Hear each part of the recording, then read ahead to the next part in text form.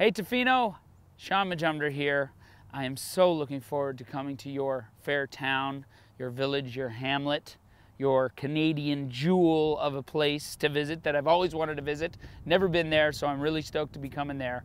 Uh, I'm coming for many reasons. One being I've never been there before, and I cannot wait to surf your fair waters.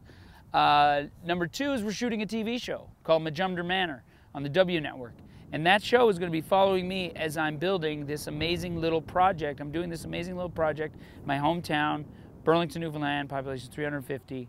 I'm going to be building a five room Ecolux Lodge to be putting in my hometown. All the money that comes into that lodge goes right back into the community so that it can sustain itself as a newly found tourism destination for Newfoundland and Labrador.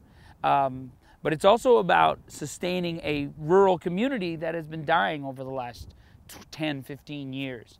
And um, that's another reason why we're holding a fundraising event at the Weigh West Marine Resort uh, on May 21st at 8 p.m. Uh, we want you to come out. I'm doing a show. All the money goes back into this uh, community fund that we're developing. We're going to create a community fund that will be accessible uh, to the local people in the town and the region who want to start up their own companies, start up their own little businesses, small businesses that will be kind of an extension of the manor that we're putting there. And it's going to be all about sustainability. It's going to be all about giving back. And I'm so thankful that you guys are going to come to the show. It's going to be fantastic. Uh, I've never been to Tofino, so I'm really looking forward to it. Uh, we'll see you there. Surfs up. Peace out. Love and respect.